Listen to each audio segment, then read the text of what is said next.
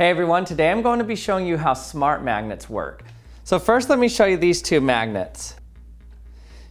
You can see these two magnets obviously repel each other. Now this might not be very interesting to you if you've ever seen two magnets together with the same like poles facing each other. They repel each other obviously. But this isn't just any magnet, this is a smart magnet. And this smart magnet allows the two magnets to be attracted to each other if you get them close enough together. So watch this. So up here, they're repelled from each other, but if I get them close enough together, about right there, they're attracted to each other now. In fact, I have to pull pretty hard to get them apart. Now here's another type of smart magnet.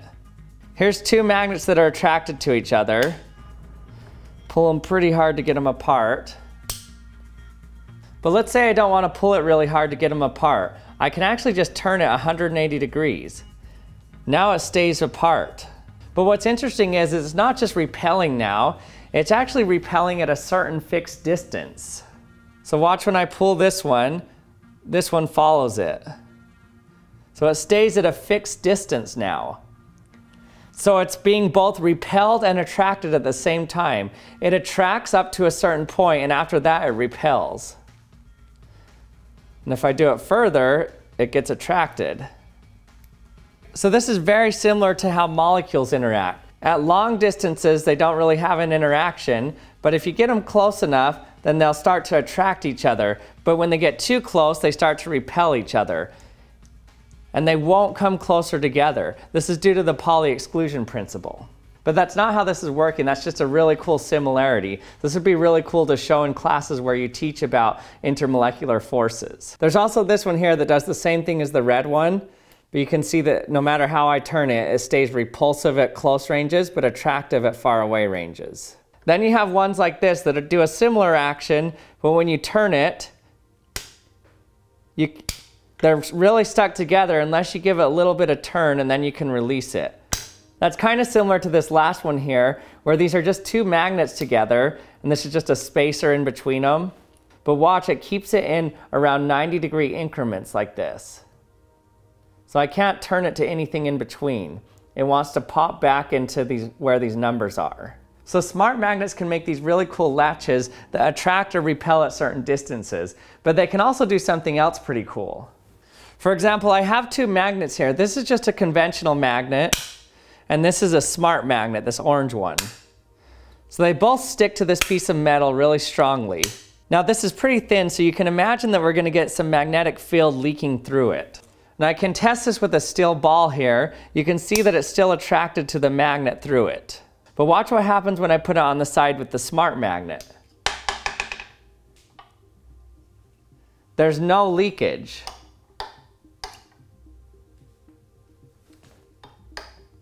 So it can't pick this up, but the conventional magnet can. Now this is really cool. It makes shielding of the magnet really easy while you still get the strong force of attraction really close up to it. So in order to see how this is working, we're going to be using something called magnetic viewing film. Before we continue, I'd like to thank the sponsor for this video. You already know who it is, Raid Shadow Legends. So this month, Raid's celebrating its three year anniversary, and it's going to be huge. They've got an insane amount of things in the store. We're talking new champions, new artifact sets, and a fully personalized video showcasing every player's raid journey and their own personal achievements. They even added a whole new faction called the Shadowkin that looks really cool. There's seriously never been a better time to get started. And if you use my link or scan the QR code right here, new players will get a free starter pack worth almost $40 to kickstart your game. We're talking free champions Misericord, Tiger Soul, and Romero. 10 Magic XP Brew, 10 Force XP Brew, and 10 Spirit XP Brew. And since it's Raid's birthday, the gifts keep coming. All new and existing players can get a bunch of free birthday gifts worth almost $25. And once you're in the game, just enter the promo code 3 years raid to get your hands on everything. It's really simple. You can use my QR code or links below to download RAID yourself to your mobile phone or PC. And thanks again to RAID for sponsoring this video. Now let's get back to our experiment. So first let me show you how this magnetic viewing paper works. I have two magnets here. When I hold it up to the magnetic viewing paper, you can see that right in the middle of them is a bright spot. So what the magnetic viewing paper does is show us when there's a transition between a north and south pole. north is on this side, south is on this side, and right in the middle is the transition. So that's what we can see with the magnetic viewing paper. You can see if I take a spherical magnet like this, right in the middle is the transition. So on this paper, remember if you see a dark spot, that's the poles. If you see a light spot, that's in between the poles. So now let's look at some of these smart magnets with it and see what it looks like. So here's that red one. You can see that there's a really intricate pattern on there. This definitely isn't some normal magnet. So let's look at the pattern on this one. So this pattern isn't that complex at all. It looks like we have rings of north and south poles. So this is the smart magnet here, and if I take just a regular magnet, you can see that it's attracted to this outer edge. So these are opposing poles here on the outer edge. So if I flip this magnet over, it's now going to be repelled to that outer one. But remember, inside of it was a different pole. So this pole in the center here is going to be attracted to this side because I flipped the magnet. But because the outer magnet is so much bigger, it repels it at these long distances. See how it's repelling it? But if I can force it to get close enough so that it's attracted to that center magnet there, then it will stick. So you can see it sticks just fine in there.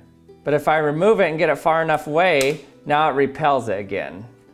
So you can see this pattern isn't very complex. It's just a circular pattern of a north pole on this outside and a south pole on the inside. But it makes it such that far away from it, it's repulsive, but close to it, it's attractive.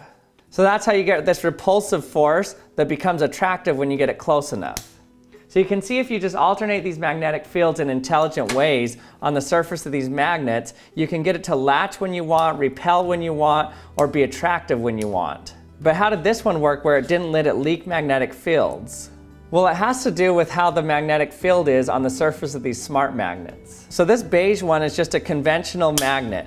So the magnetic field goes up from one side, curves around, and goes to the other side. So it's a big loop. But let's look at the pattern on this smart magnet here. You can see there's a really cool pattern going on here.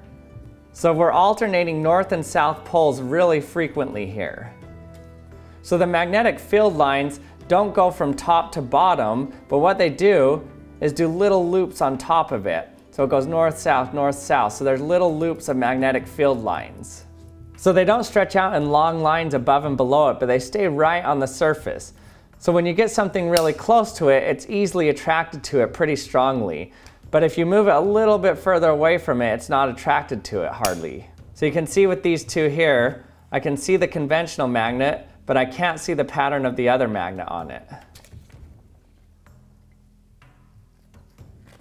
The way these are made is you take a blank like this, and then you want to create a strong magnetic field exactly where you want it. And the way you do that is by using an electromagnet. So I'll put a link in my description to a really cool video where a guy uses a print head and a huge capacitor to generate magnetic fields right where he wants it, and it imprints that magnetic field into the blank. Now making magnetic patterns like this has been around for a really long time actually, way before these smart magnets or polymagnets have been around. You've actually seen this pattern before if you've ever used a refrigerator magnet. So I have a refrigerator magnet here that I've just cut in half. Now let's see what this looks like in the magnetic viewing paper. Look at those lines. So refrigerator magnets actually have these alternating north and south poles as well. So you don't get long range of these magnets, but you do get strong force right close up to it. Here's another one. Depending on the magnet, you'll get different spacing of the magnetic fields on the back. So because you have an alternating pattern here, what this means is if you stick them together, they'll stick together just fine because it'll find its correlating north and south pole, but it'll only do it at certain increments. You can see how these kind of click together.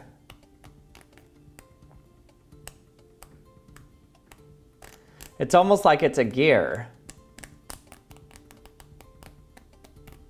I've actually always been fascinated by refrigerator magnets because of this fact right here. How there's this invisible force that makes it like there's gears on these that only let them move at certain increments. So I can mimic this by putting a bunch of magnets spaced with a little bit of space in between.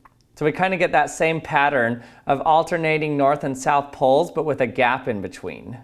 So you can see when I put a magnet on top of it, it only wants to stay at these fixed intervals. So that's exactly what's happening with these magnets here. And thanks for watching another episode of the Action Lab. I hope you enjoyed it. If you did, don't forget to subscribe if you haven't yet and hit the bell so you can be notified when I release my latest video. And check out actionlab.com if you haven't yet. I sell two science boxes there, a vacuum chamber box and a self-pouring fluid box. And we're almost out of stock of these and not gonna be ordering new ones. So if you wanna get it, head there now. And thanks for watching and I'll see you next time.